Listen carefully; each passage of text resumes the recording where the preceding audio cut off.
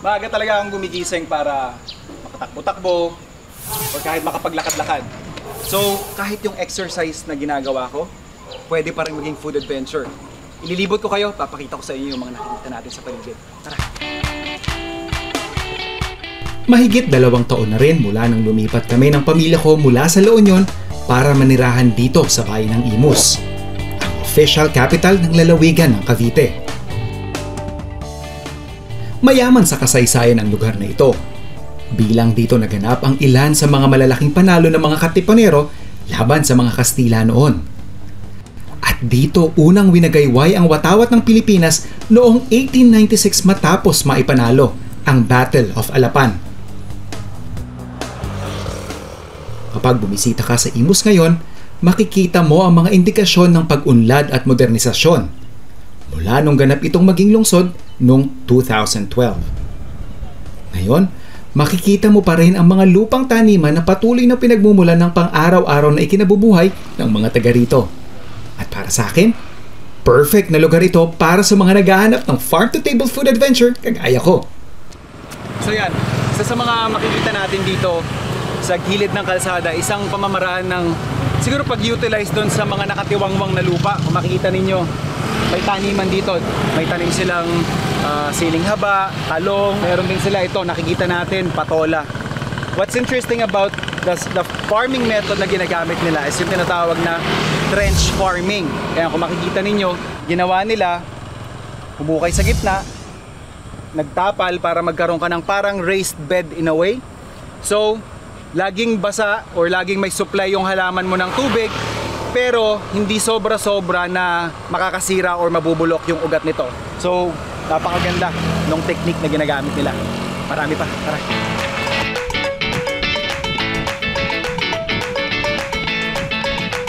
Yung farm to table experience, hindi mo kailangan may farm ka or may sarili, at the very least, may sarili kang garden. For me, yung experience is kung wala kang access sa, kung wala kang hektaryang lupa or wala kang mang siguro space para makapagtanim ng sarili mo, at the very least, kilalanin mo yung community mo. So ito yung jogging path natin. Makikita natin, andun si kuya, nagtatanim siya nung kamote. And ito, sarili nilang tanim na nasa community lang namin. Ayan, fresh na fresh. Meron din tayong saluyot. Ayan. So ito yung mga access natin ng healthy pero ito yung pinaka the best kasi dito. Mura at fresh.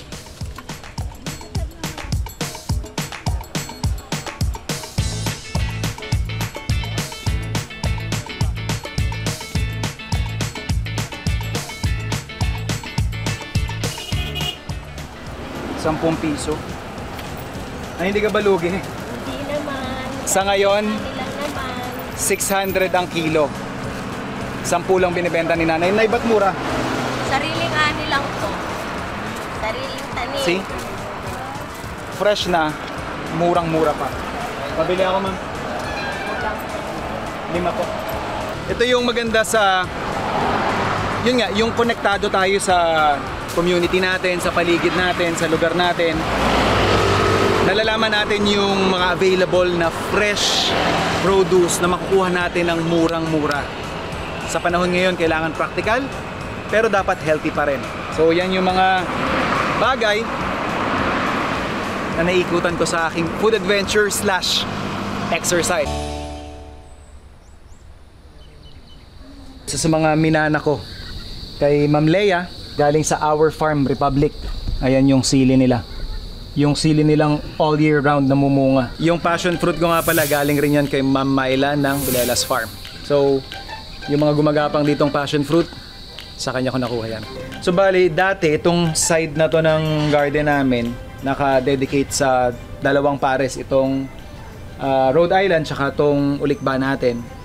Eh ang problema, nangingitlog yung Rhode Island ko, maglilimlim, tapos gustong sumingit nung isa. So parang hindi ako nakakapisa, kaya pinaghiwalay ko na sila. Ito naman yung isang technique na ginagamit ko, kunyari sa mustasa, or sa pechay. Well dito, tanim ko mustasa. Kung mapapansin ninyo, sa isang area, Ayan, kagaya nito. Sama-sama na siya. So makikita mo, chef, hindi ba magiging problema yan? Ang advantage kasi nito is, kunyari may kailangan ako ngayon, pipitas ako ng malalaking dahon, yan, yan na yung mga mas mature. So mapapansin ninyo, itong puno na ito, mature na, pero kapag binukan yung ganyan, may mga maliliit pa. Ang dahilan dyan ay, itong malalaki na ito, hinaharangan niya yung mas maliliit para makakuha ng sinag ng araw.